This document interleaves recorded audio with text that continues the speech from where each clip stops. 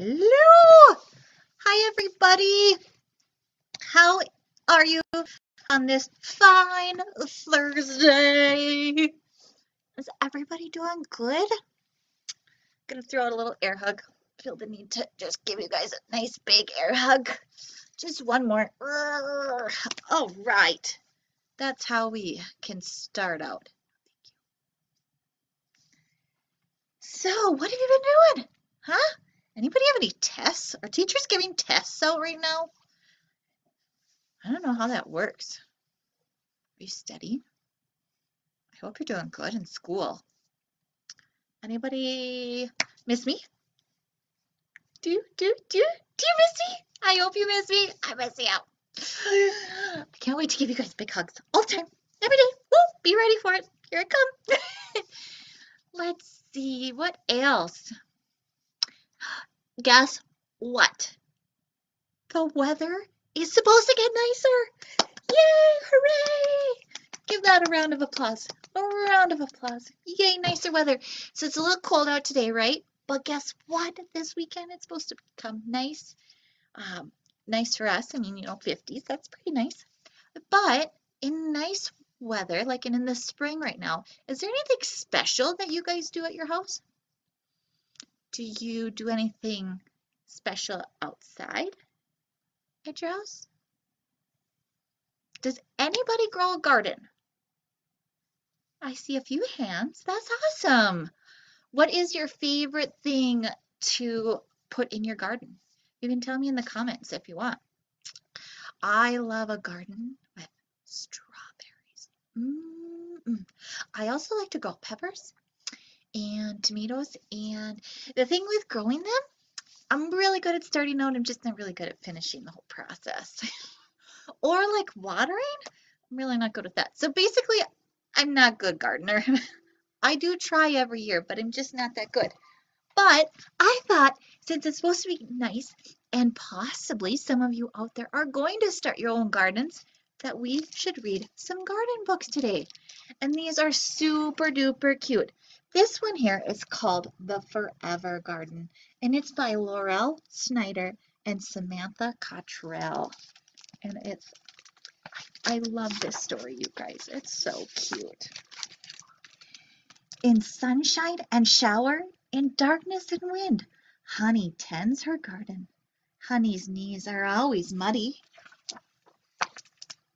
Sometimes when it's cold outside, she tucks her garden in. Shh. When the lettuces are small and new, Honey thins them. Her scissors say. And the peas climb up. Honey pulls her beets from the ground with a shoot that scares the chickens. Honey sings to the kale. Oh, kale, do do. She says it sings back, but I can't hear it. Not even when I listen close. I hang on the fence in the mornings. When it rains, oh, Honey feeds me tiny carrots washed under the pump. Yellow tomatoes the size of marbles. They taste like sunshine. When it rains, I watch from the window. Sometimes Mom sends me to Honey for an egg to bake with. Honey's eggs are pink and green, smooth and speckled. The chickens get mad. They scatter. Presto, says Honey as she slips an egg into my hand.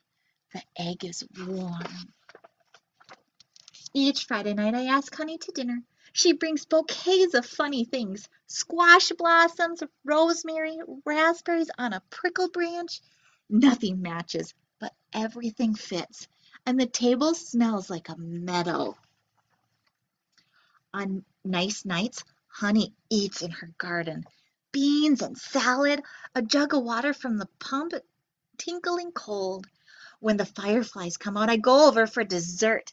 Honey always has a cookie. I have two or three. But one day, there's a sign in Honey's yard. Angry letters shout, for sale. What's up? I ask. Honey peers at the sky. Rain, maybe? No, I mean, are you moving? Honey stares at the garden. Yes, she says. My mother is sick and she needs me. Oh, I say, I'm sorry. Me too. I kneel down. My knees get muddy, just like Honey's. The next day I lie under the sunflowers and watch Honey plant strawberries. Chickens doze, a bee buzzes. You know, there might be wasps where you're moving to, I warn her, or tornadoes. Honey turns to me and smiles. I'll miss you too, she says. I touch a strawberry leaf, dark and glossy. It trembles. The next day I ask to plant a tree. Apples are my favorite. We dig and dig. I get blisters. But when we're finished, Honey says the tree will last a long, long time. Like a person, she tells me, but with flowers. I make a sign so people will know. Honey and Laurel's tree. And then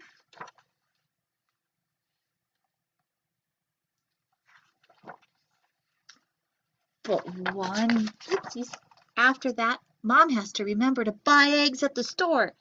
They aren't speckled at all, and nobody eats in the garden. But one day, there are new people at Honey's. Lots of people, little people. They don't seem to know anything about gardens, so I help. Each day I slip over the fence to check on things. I weed the rows. I say hi to my tree. Sometimes I sing to the kale. And you know what? When the world is very quiet, if I close my eyes, I can almost hear it singing back. Isn't that such a sweet book, you guys? A couple things that I just want to say. To me, there's absolutely nothing better than digging out a tiny carrot from the garden. Mm, oh my gosh, carrots from the garden. Oh, so, so good. And do you know our friend Miss Stella? I think there's others of you out there, but Miss Stella, she's our little chicken girl that I know, and she's picking eggs or eggs from her chickens all the time.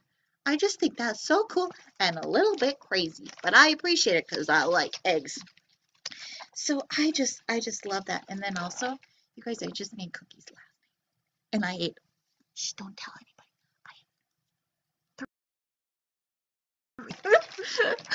but yes, I think that book is so cute. And gardens can go last for a long time, can't they?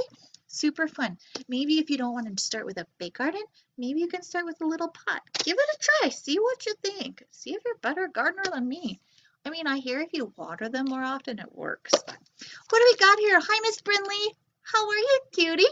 And then, oh, hi, Miss Lily. How are you? And then, oh, do we have Miss Ainsley? Hey, girl, how are you? Are you guys doing good? So good to see you today. One more, one more garden book, and this is called The Curious Garden. I think this is also really good. And this one is by Peter Brown. It's kind of a fun name, huh? Peter Brown. There once was a city without gardens or trees or greenery of any kind. Okay, let's hold a sec. Who would want that? I love our trees. Oh my gosh, do we have just such pretty trees here? They're big and they're all over and I love green and grass. Oh, I'd be so sad. I don't know what city this is, but I don't want to live there. I don't know about you guys, but I do not want to live there. most people spend their time indoors. As you can imagine, it was a very dreary place. However, there was one boy who loved being outside, even on drizzly days. While everyone stayed inside, you could always find Liam happily splashing through his neighborhood. It was on one such morning that Liam made several surprising discoveries. He was wandering around the old railway, as he did from time to time, when he stumbled upon a dark stairwell leading up to the tracks. The railway had stopped working ages ago, and since Liam had always wanted to explore the tracks, there was only one thing for this curious boy to do. Liam ran up the stairs, pushed open the door, and stepped out onto the railway. The first thing he saw was a lonely patch of color. Wildflowers and plants were the last things he had expected to find up there. But when he took a closer look, it became clear that the plants were dying. They needed a gardener. Liam may not have been a gardener, but he knew that he could help. So he returned to the railway the very next day and got to work. The flowers nearly drowned, and he had a few pruning problems, but the plants patiently waited while Liam found better ways of gardening. As the weeks rolled by, Liam began to feel like a real gardener, and the plants began to feel like real garden. Most gardens stay in one place, but this was no ordinary garden. With miles of open railway headed ahead of it, the garden was growing restless. It wanted to explore. The tough little weeds and the mosses were the first to move. They propped up there farther and farther down the tracks, were closely followed by more delicate plants. Over the next few months, Liam and the curious garden explored every corner of the railway. Look at it, you guys. How awesome. Ah, super cool. Oh, it's getting better. After spending his spring and summer and autumn with the garden, Liam's time on the railway was finally interrupted by winter. Heavy blankets of snow fell the city fell on the city that season. For the first time since he'd become a gardener, Liam could not visit the plants.